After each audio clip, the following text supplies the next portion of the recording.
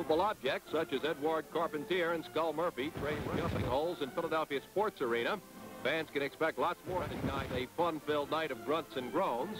Carpentier, the Intercontinental champion of Europe, is a popular favorite in this country and can be on to give a powerful exhibition in the ring. Skull Murphy, the popular villain of pro wrestling, is noted for his unethical conduct in the ring. Murphy makes no bones about it once he plants that steel dome into Hanson's head. His activities outside the ring are of great interest to the fans who don't mind chatting with Skull, but it usually winds up in a boisterous, defiant oration. It's a one-fall, 30-minute bout. Carpentier hustles Murphy to the ropes where three steps between these muscular matmen, but Skull slips a quick right thing Carpentier on the break. Edouard's unhappy about being mistreated as he takes his grievance out on the referee. Turn. While the referee's flat on his back, Murphy decides to turn and serve as the umpire. It's strike one as Skull have to here to the canvas, and the European champ knows he has a really tough nut to crack tonight.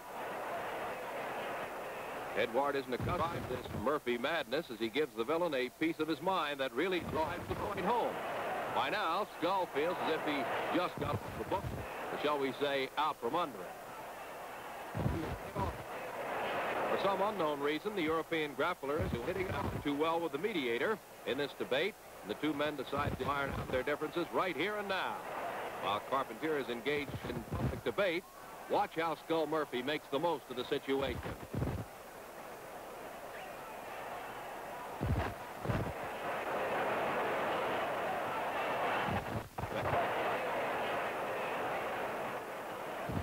Headman positions himself so as to take advantage of the element of surprise.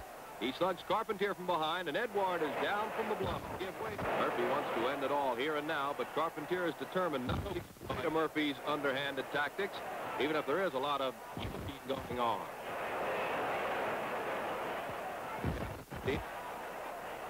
Carpentier finally gets free, but Murphy has an idea that he thinks will really swing. It does, right in his own face as Edouard drops the unsuspecting skull with a smashing kick off the rope. Edouard follows up with a flying drop kick back and applies a leg stretch that has Murphy tied up in knots.